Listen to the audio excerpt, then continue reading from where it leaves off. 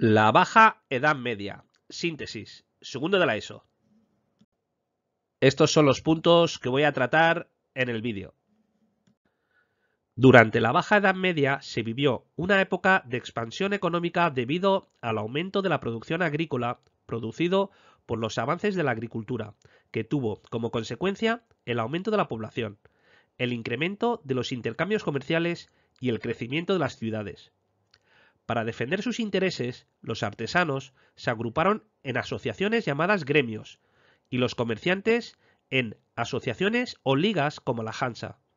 Se establecieron nuevas rutas comerciales por toda Europa y el Mediterráneo, y a su vez importantes ferias anuales como la de Champán. Con el desarrollo de las ciudades, un nuevo grupo social, la burguesía, aumentó su importancia en la sociedad feudal. En él se incluían artesanos, comerciantes y banqueros. La ciudad era el centro de la actividad artesanal y comercial. Contaban con mercados, ayuntamientos, catedrales o iglesias. Además, podían tener lonja, universidad, hospital, baños públicos y fortaleza. Los monarcas beneficiaron a las ciudades otorgándoles fueros, por lo que consiguieron mayor autonomía y libertad. Las ciudades eran gobernadas por magistrados de la alta burguesía, que a su vez participaban en las cortes reales. En algunas ocasiones, como en Inglaterra, la nobleza y la burguesía se aliaron para obligar al monarca a firmar la Carta Magna, por la cual lograron limitar su poder. Las universidades surgieron en las ciudades y se convirtieron en el foco de difusión de la cultura y del pensamiento. Las más prestigiosas fueron las de Oxford, Cambridge, Bolonia y Salamanca. El nuevo estilo artístico fue el gótico, que reflejaba la nueva sociedad burguesa. La arquitectura gótica se caracteriza por su gran altura y esbeltez.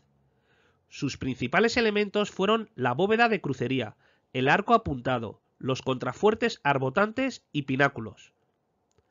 La pintura y la escultura gótica tenían una función didáctica y narrativa. Se caracterizan por un estilo más naturalista, unos rostros expresivos y un gusto por el detalle. La escultura se hizo más independiente respecto al marco arquitectónico, concentrándose en fachadas y retablos. Incluso se esculpieron obras exentas separadas del edificio. En la pintura se desarrollaron nuevos temas como los retratos y los paisajes, y se generalizó el uso de la pintura al óleo. Durante el siglo XIV y parte del XV, la Europa medieval sufrió una profunda crisis política, económica y social, provocada por una crisis agrícola, oleadas de epidemias como la peste negra, las guerras entre nobles, las revueltas campesinas, las revueltas urbanas y episodios de persecución religiosa contra los judíos y los conversos por parte de la Inquisición. Si has llegado hasta aquí, pulsa like y para estar al tanto de nuevos vídeos, no dudes en suscribirte al canal Aprende con Víctor. Pueden encontrar más recursos en la descripción del vídeo. Adiós.